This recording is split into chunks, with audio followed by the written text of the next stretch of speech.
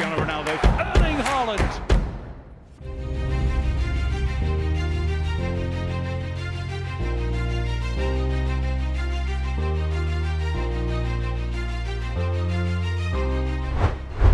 Yap, Jordi Alba baru saja diumumkan sebagai salah satu pemain Barca yang bergabung ke Inter Miami setelah Lionel Messi dan Sergio Busquets. Namun tak sampai di situ saja, David Beckham tampaknya belum cukup puas setelah mendatangkan tiga mantan generasi emas FC Barcelona. Terbaru, menurut sejumlah laporan terpercaya, Luis Suarez semakin dekat dengan Inter Miami. Bahkan rela tak mendapatkan gaji demi bisa bermain dengan Leo Messi.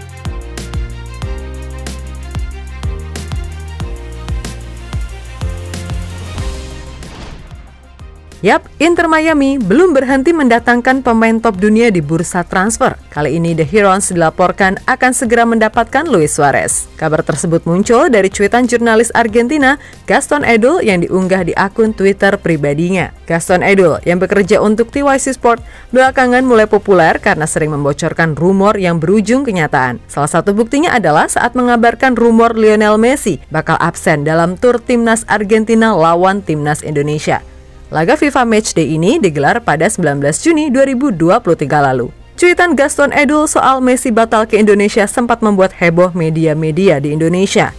Tak lama kemudian, timnas Argentina resmi mengumumkan Messi tak dibawa ke Indonesia. Kali ini Edul menyebut kesepakatan antara Inter Miami dan Suarez nyaris tercapai. Negosiasi kedua belah pihak juga sudah berlangsung cukup lama.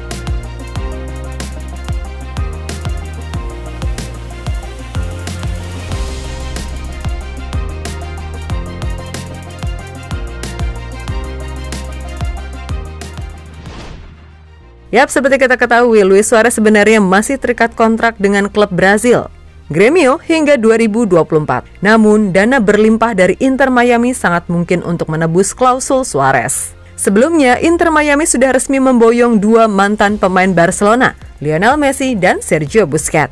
Keduanya sudah resmi diperkenalkan sekaligus melakoni latihan perdana bersama The Herons. Sangat besar kemungkinan Suarez bakal mengikuti jejak Messi dan Busquets untuk membangun Barcelona Mini di Major League Soccer atau MLS.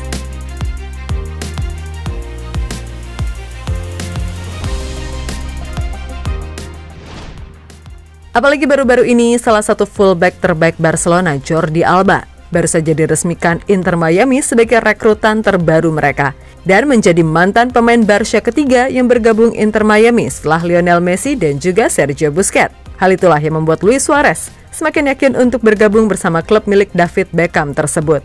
Bahkan dalam laporan terbaru, Luis Suarez telah meminta Gremio untuk merelakannya dan rela untuk tak digaji demi bisa kembali bermain bersama Lionel Messi.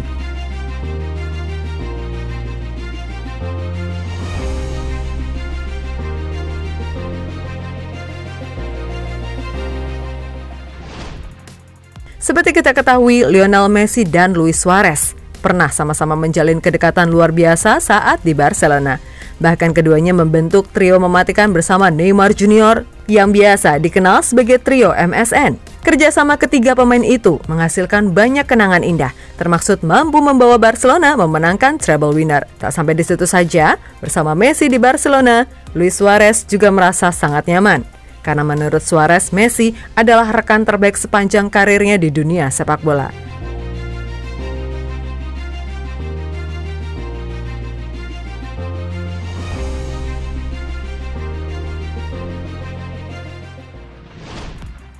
Sementara itu, di usianya yang telah menginjak 36 tahun, Luis Suarez masih menunjukkan ketajaman yang cukup menjanjikan, di mana bermain sebagai striker utama Gremio. Suarez berhasil mencetak 13 gol dari 30 pertandingan yang telah dia mainkan. Dan bersama Inter Miami, Suarez diyakini mampu mencetak gol lebih banyak lagi. Karena mereka memiliki Lionel Messi, Sergio Busquets, dan Jordi Alba yang siap melayani Suarez dengan umpan-umpan matangnya.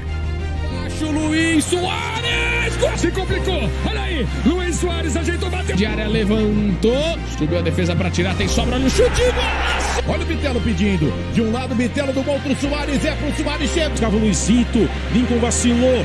Luizito fez a finta. Luizito. Cristaldo tem cruzamento por baixo. A bola chega no Soares. Tá de Dedé. Cruzamento na entrada da Dan kita hanya bisa mendoakan saja semoga transfer Suarez ke Inter Miami segera terlaksana agar kita bisa melihat duet Messi dan Suarez lagi di usia senja atau sama-sama menghabiskan karirnya di negeri Paman Sam.